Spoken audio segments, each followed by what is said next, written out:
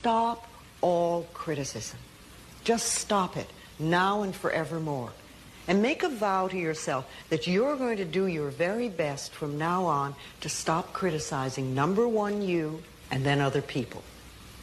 It'll be a lot easier to stop criticizing other people when you stop criticizing yourself.